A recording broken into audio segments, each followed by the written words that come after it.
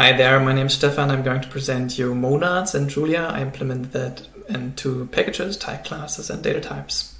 Basic. I'm a freelancer, reach out, I'm interested in function programming in general. Looking at type classes, we um, want to reuse as much base as possible, make it stable, simple, and convenient. So we've simplified to kind of the key things, and one of these key things is functor, applicative, and monad interfaces. So we have the map function, pure app to find an applicative, and flat map for monad. Here's some extra considerations you can take a look at. And for semigroup, monoid alternative, this is kind of the second group of things. We have this neutral, combined, or else, defined as central interface. And we have a, a third group that's the flip types. It's a, a new type class. Name comes from myself and its key key feature. So if you have a nested type, an A of an B over C, it wraps it into a B of an A over C. So that's kind of really important feature. Looking at some concrete things which implement these interfaces already, you can take a look at data types basics. So we have here option, try, and either. Option representing something which can be nothing, a try representing something which can error.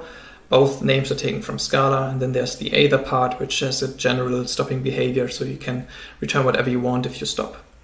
We re represent both with the same underlying um, types. So we have an identity type, just stripping a value and denoting the normal stuff, and a const, again ripping a value but denoting the stopping action. These are actually taking, the names are taken from Haskell, so common types known to the world. Here, an overview so having these, there's one extra context manager, but then with identity constant, then either try and option implemented as a union of a constant identity. So that's the key idea. Type classes comes also with some extra data types, but not so important. Let's take a look at um, the option.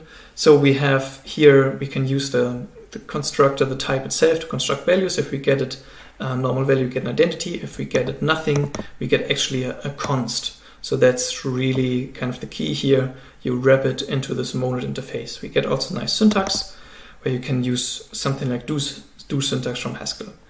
We have try with a nice macro which will um, catch your errors and also show your stack traces nicely. With either you can return whatever thing you want if it stops and yeah, key last point is composing monads is possible, but the later monad needs to be convertible to the former one. That's kind of the restriction. But either try an option as they are implemented with the same thing, they compose naturally. And if you want to compose other monads, take a look at extensible effects. It has its own talk at JuliaCon.